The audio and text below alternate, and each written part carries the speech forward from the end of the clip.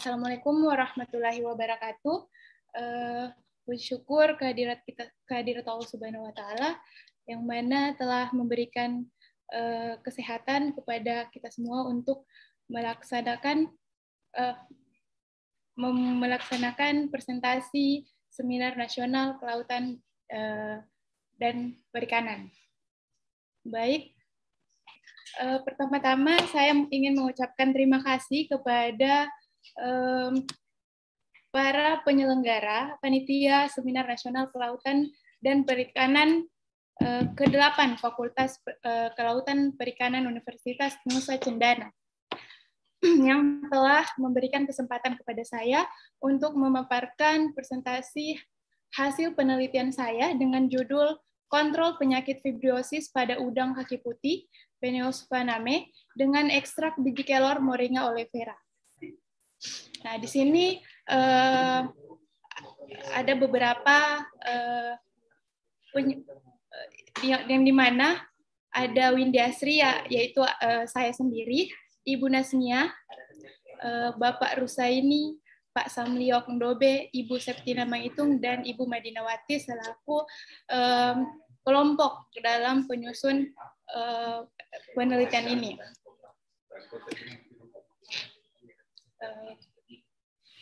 Seperti yang kita ketahui bersama, udang kaki putih ini merupakan udang komoditas yang diintroduksi ke Indonesia pada tahun 2001 hal itu uh, me menyebabkan eh hal itu uh, budidaya udang kaki putih mengalami peningkatan secara signifikan pada, uh, sejak tahun uh, mulainya udang ini diperkenalkan di Indonesia. Nah, tidak hanya di Indonesia, produksi udang kaki putih ini mengalami peningkatan juga di belahan dunia seperti negara-negara produsen udang kaki putih ini. Nah, berdasarkan data yang saya dapatkan bahwa pada tahun 2018 dilaporkan bahwa produksi udang kaki putih ini mengalami peningkatan sebesar 908.000 ton uh, di Indonesia sendiri. Hal ini menyebabkan Indonesia menjadi peringkat kedua dari 10 besar negara penghasil udang kaki putih. Kemudian sering dengan produksi uh, meningkatnya produksi udang kaki putih, tentu didapatkan permasalahan-permasalahan dalam budidaya udang kaki putih ini sendiri. Uh, dalam hal ini, masalah yang didapatkan yang cukup banyak uh, dibahas saat ini adalah masalah penyakit yang disebabkan oleh bakteri patogen. Nah, masalah penyakit yang disebabkan oleh bakteri patogen ini yang cukup Eh, menyebabkan kerugian yang cukup besar dalam produksi udang kaki putih. Nah, jenis penyakit salah satu jenis penyakit uh, bakteri patogen pada udang adalah jenis penyakit fibriosis yang disebabkan oleh strain bakteri Vibrio. Nah, uh, strain bakteri Vibrio ini yang yang cukup banyak uh, mengalami kerugi yang menyebabkan kerugian di beberapa budid pembudidaya adalah strain jenis eh, strain bakteri Vibrio harvey yang menyebabkan eh, ter, kerugian tertinggi di beberapa negara-negara produsen udang penait seperti Amerika Serikat dan Indonesia khususnya. Nah, kemudian upaya yang diterapkan uh, dalam pencegahan uh, infeksi bakteri Vibrio HV ini adalah dengan pemberian antibiotik. Namun, pemberian antibiotik ini uh, dalam jangka waktu yang cukup lama akan menyebabkan resistensi bakteri berpengaruh pada lingkungan dan kesehatan manusia. Oleh karenanya, kita memilih uh, pemanfaatan bahan alami di sini uh, bahan alami yang lebih ramah lingkungan aman untuk uh, organisme dan kesehatan manusia, serta mudah didapat dan mengandung senyawa antibakteri. Dalam hal ini saya me menggunakan uh, tanah bahan alami ekstrak biji kelor. Nah, sebelum ini sudah uh, ada beberapa penelitian tentang tanaman kelor ini yang dilakukan dalam menghambat bakteri gram negatif dan gram positif.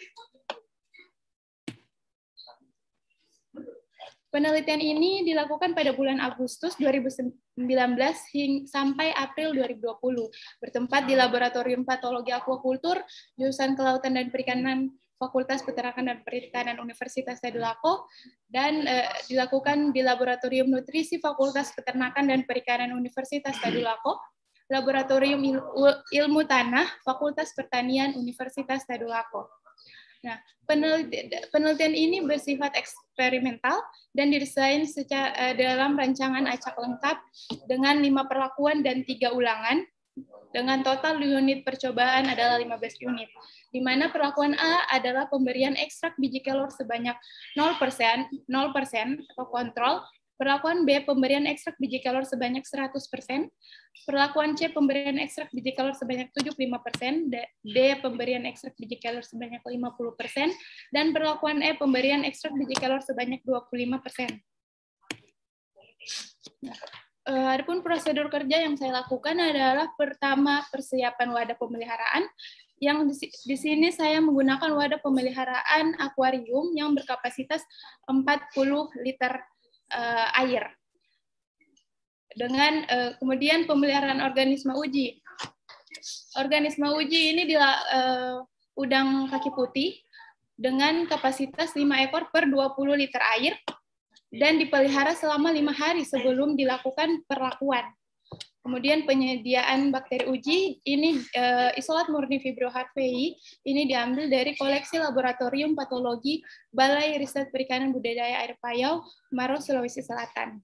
Nah, ekstrak biji kelor ini saya menggunakan metode maserasi dengan um, per, metode perendaman.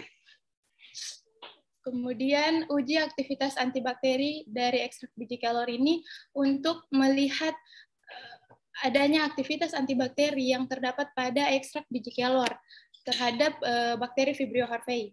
Kemudian konsentrasi hambat minimum biji kelor ini didapatkan untuk mengetahui uh, adanya konsentrasi uh, konsentrasi terendah dari biji kelor dalam mencegah dalam mencegah pertumbuhan uh, bakteri Vibrio.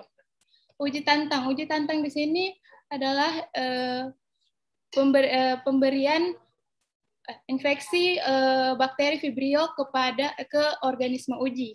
Nah, di sini dilak, uh, digunakan bakteri Vibrio harveic dengan kepadatan 10 pangkat 6 CFU per mil, diinjeksikan pada udang sebanyak 1 mili per ekor dan diinjeksikan pada bagian abdomen ketiga. Injeksi ekstrak biji kelor.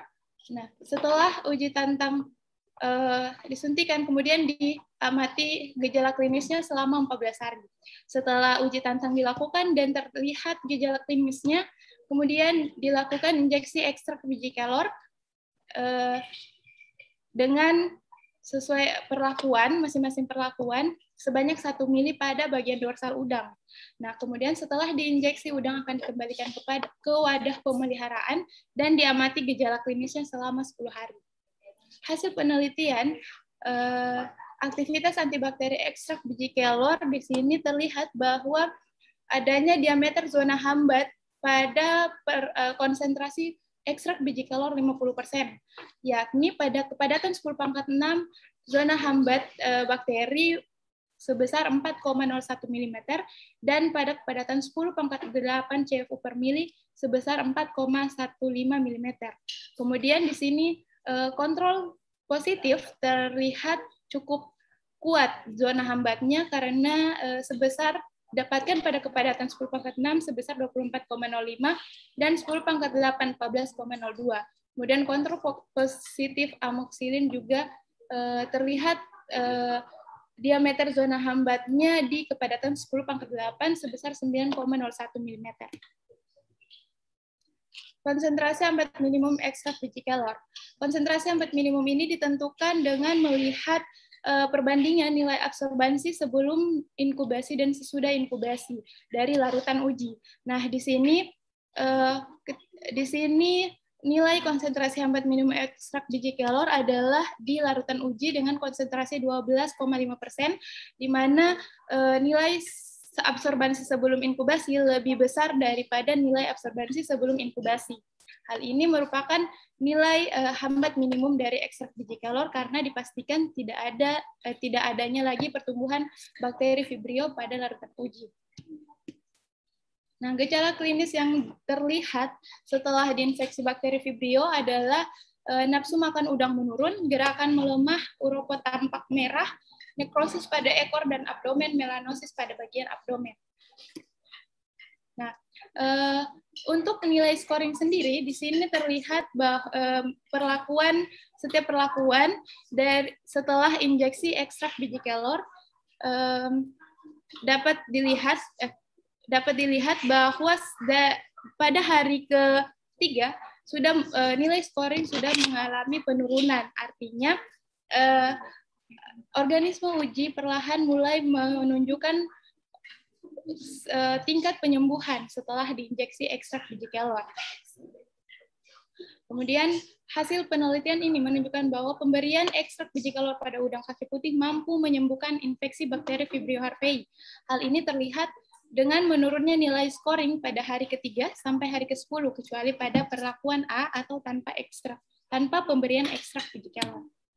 Nah, untuk sintasannya sendiri, sintasan udang eh, di sebelah kiri ini adalah sintasan udang setelah injeksi bakteri Vibrio harvey di mana terlihat bahwa setelah injeksi eh, bakteri Vibrio harvey mengalami penurunan eh, kelangsungan hidup dan uh, berkisar antara 60 sampai 73,3 persen.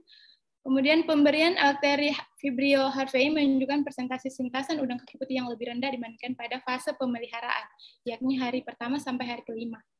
Kemudian untuk sintasan uh, sebelah kanan ada uh, sintasan udang pada saat sesudah diinjeksikan ekstrak biji kelor, di mana setelah uh, sintasan udang setelah injeksi ekstrak biji kelor berkisar antara 55,6 sampai 81,8 persen. Pemberi, di mana pemberian ekstrak biji kelor ternyata menunjukkan persentase sintasan udang kaki putih yang lebih tinggi dibanding dengan kontrol atau tanpa pemberian ekstrak biji kelor. Uh, Simpulan uh, dari penelitian ini adalah ekstrak biji kelor uh, mampu menghambat pertumbuhan bakteri Vibrio harvey pada konsentrasi 50%. Zona hambat yang terbentuk dikategorikan lemah yaitu berkisar 4 4,01 sampai 4,15 mm. Konsentrasi hambat minimum ekstrak biji kelor terhadap bakteri Vibrio adalah 12,5 persen.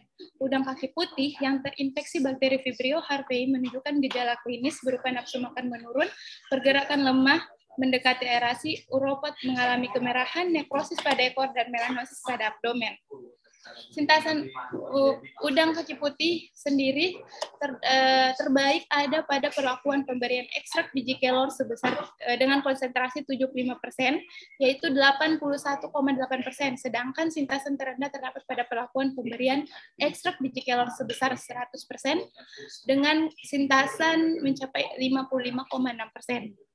Untuk kualitas air pemeliharaan selama penelitian sendiri menunjukkan nilai yang cukup layak untuk pemeliharaan udang kaki putih. Saran dari penelitian ini diharapkan eh, saran dari penelitian ini eh, bahwa kontrol penyakit pada udang peneit yang diakibatkan oleh infeksi Vibrio harvey dapat dilakukan dengan injeksi ekstrak biji kelor pada konsentrasi 50 sampai 75 persen. Kemudian perlu adanya penelitian terhadap pembandingan efektivitas metode injeksi dan perendaman dengan menggunakan ekstrak biji kelor. Hal ini berguna untuk memilih metode aplikasi yang lebih efektif dan mudah dalam mengontrol infeksi bakteri Vibrio pada budidaya udang penyu. Uh, terima kasih atas kesempatan yang diberikan kepada saya. Uh, saya lebih dan kurangnya saya mohon maaf. Saya akhiri presentasi saya. Wabillahi taufiq wal hidayah. Wassalamualaikum warahmatullahi wabarakatuh. Dan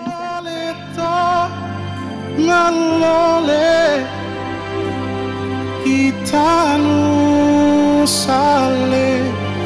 malole